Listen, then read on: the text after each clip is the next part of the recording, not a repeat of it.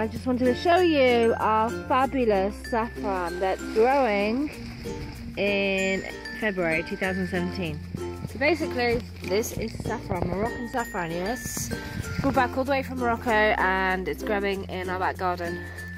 This is the baby fig tree.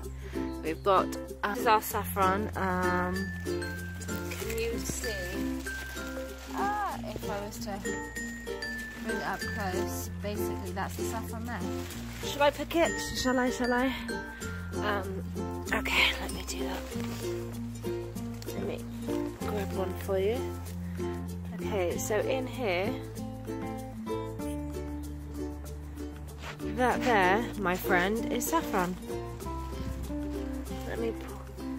Yes! Outside! And it's freezing cold. So there you have there you have the saffron. I'll take it inside. But basically this is where it's all growing and we've sheltered it with plastic wrap that's gone around this section. This is the fig trees. This is some fig trees rooting. That is our um, lemon citrus tree. Um, yeah, so that's saffron all the way from Morocco, growing in the UK in February 2017. Yes. Here we go. Okay.